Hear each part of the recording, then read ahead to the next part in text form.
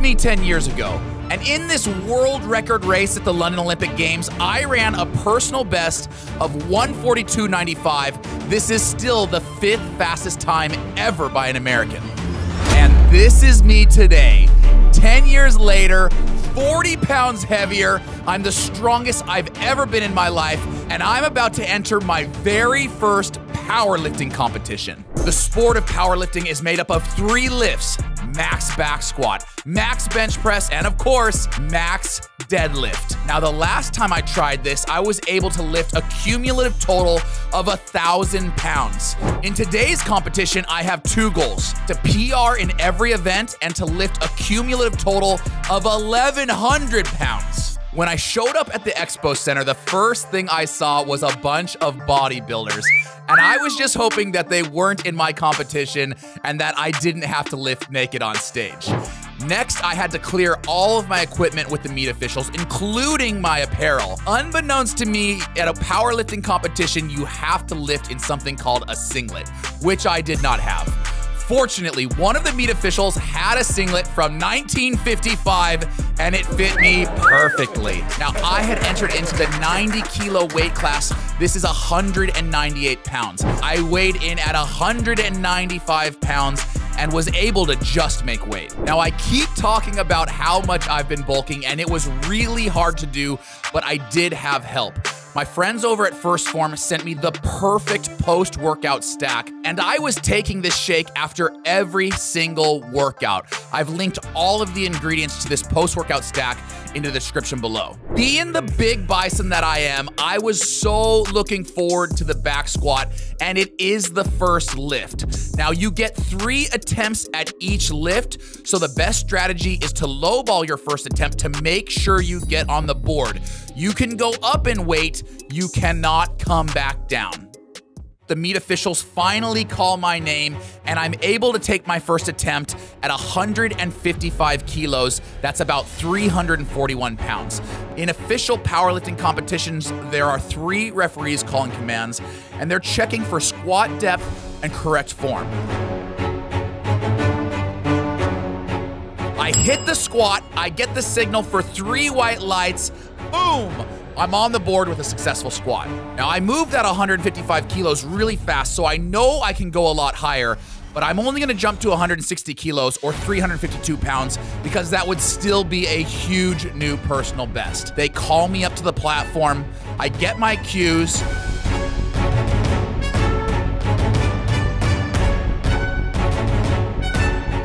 And boom, another successful lift, three white lights, and I'm on to the third and final lift.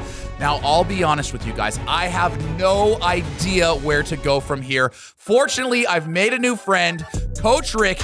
He's gonna help guide me through the rest of this competition.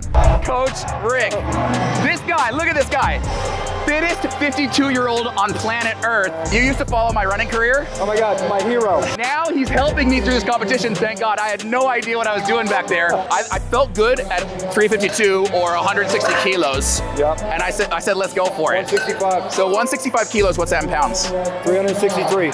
Attack. attack. I got to go for it. You got to attack. Okay. Thanks, coach. Yeah, man. Let's do this. I am so grateful for Coach Rick's advice, and after consulting with him, we decide to go big 165 kilos, which is 363 pounds. This would be a massive, massive personal best for me. And I gotta be honest, I'm nervous as I step up to the rack. I take a deep breath, wait for my command, super slow bar speed, but I do manage to stand it up. The main ref gives me the command and I take a step forward to rack the weights, but no, they've given me two red lights.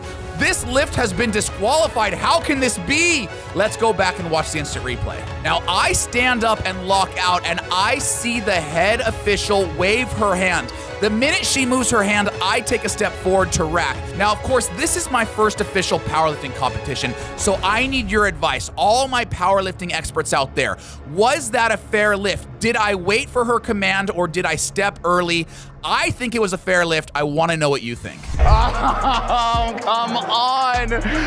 I'm counting that as a PR, even though it doesn't count because I didn't wait for the command to re-rack. Well, coach, what was that? Poundage. 363 pounds. 363 pounds. Counts for me, doesn't count in competition. Counts for me too. All right. I am pissed. But there's nothing more lethal than an angry bison. And next up, it's my most improved event, the bench press. Today, for my first attempt, I'm swinging for the fences. 253 pounds, that's 115 kilos. The meet officials call my name. I get into position and I wait for my commands. I am not about to let the refs disqualify another lift.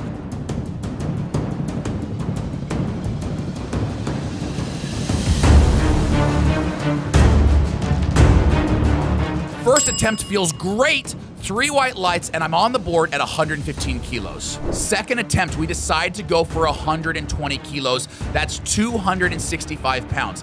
This again would be a huge personal best from where I was at. My first attempt came in so easy, I'm not afraid to make the five kilo jump. Let's see what I've got in the tank. Second attempt feels a little bit harder, but I'm still able to lock it out.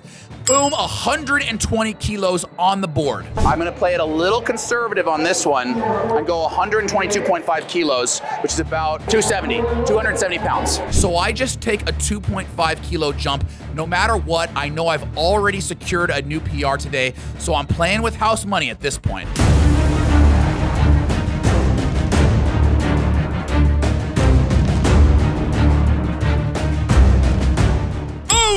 White lights, another successful attempt. With that 270 pound bench, I'm now sitting in third place with a combined total of 623 pounds. But we have one big event left. And finally, the deadlift. My favorite movement of them all. I will full send this as hard as I can. The only rule is I have to lock out the weight and control it back to the floor. For my first attempt, I will try to hit 195 kilos. That's 429 pounds. I should be able to move this weight with relative ease. Let's see. Stand it up, and boom, three white lights. That is a successful lift at 195 kilos. For my second attempt, we decide to take a big jump up to 200 kilos. That is over my personal best of 440 pounds. Knowing that I could potentially set a new personal best has adrenaline pumping through my veins. And as I grab the bar, I begin to move it, but the bar is moving slowly and stand it up, Bison. Let's go.